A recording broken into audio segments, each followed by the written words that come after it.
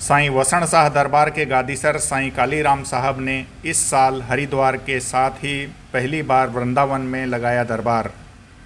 निकाली पालकी यात्रा और बहराणा साहब।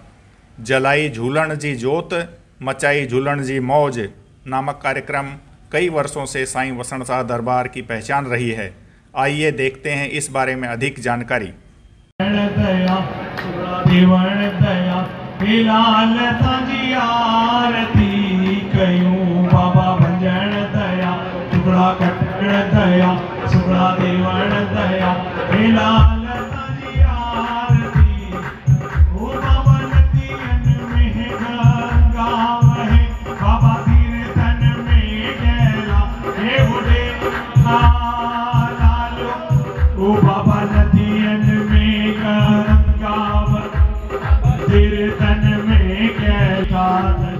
सभी को जय जय वसंत शाह जय जय पारुष शाह जय श्री राधे जय झूलेलाल हर हर महादेव।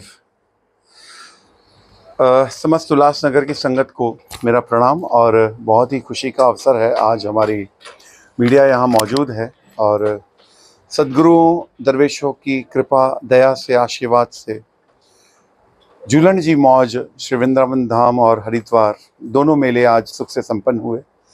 कल का जो कार्यक्रम बचा हुआ है, पूज्य पालकी साहब की यात्रा साहब है, बाबा का जलाभिषेक होगा।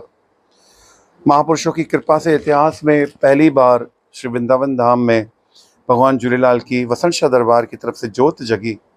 कृपा हुई, रहमत हुई, दया हुई, आशीर्वाद हुई, श्री राधे कृष्ण भगवान की कृपा हुई, रहमत हुई। साथ ही साथ भगवान झूलेलाल की अपार कृपा हम पर रही, जो ये मेला, दोनों मेले, हरिद्वार के भी मेले पूज्य बैराणे साहब दोनों सुख से संपन्न हुए। आप समस्त उल्लासनगर की अन्य देशों की संगत को इस मेले की बहुत बहुत शुभकामनाएँ, दुआएँ, आशीर्वाद और हमेशा खुश रहिए, मस्त रहिए, आबाद रहिए। जय वसंत शाह, जय पारू शाह, रख रोड़ी भारती। जय झूलेलाल, जय जय श्री राधे, हर हर महादेव। ये तो जन्मभूमि है हम सब भागवत प्रवक्ताओं की और यहाँ बड़ी खुशी है कि हम, हमें मौका मिला वसंत शाह दरबार के सभी भक्तों का स्वागत करने का, उनसे मिलने का। और मैं हमेशा कहती हूँ, वसंत शाह दरबार में जितने भी भक्त हैं, वो सब बड़े प्रेमी हैं, बहुत उत्साह रहता है उनमें।